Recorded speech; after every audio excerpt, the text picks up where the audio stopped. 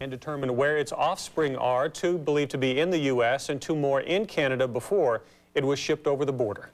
Billions of dollars are at stake for the American beef industry. This weekend's developments should show up in tomorrow's stock markets.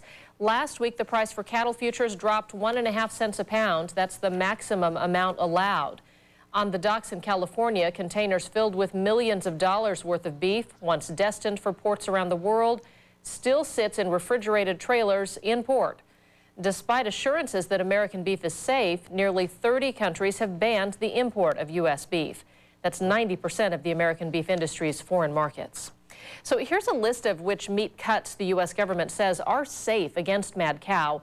Among them are whole cuts without bones, such as beef steaks, roast, liver, and ground beef from labeled cuts like chuck or round.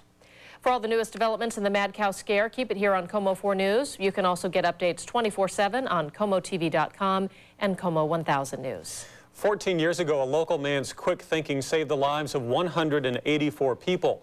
Tonight, former United Airlines pilot Al Haynes is hoping to save another life, the life of his own daughter. KOMO 4's Joe Furia is live with their story. Joe? Kevin, Captain Al Haynes is helping his daughter raise more than $150,000 to pay for a life-saving transplant. I have serious doubts about making the airport. Have you got uh, someplace near there? His heroic actions saved so many lives. Somehow, Captain Al Haynes and his crew managed to crash land this crippled DC-10 in Sioux City, Iowa back in 1989.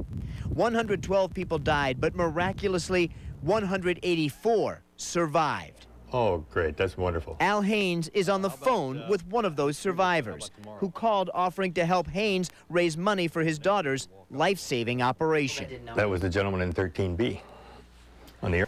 I could have been having the transplant done and be done and be getting. For a bone marrow transplant,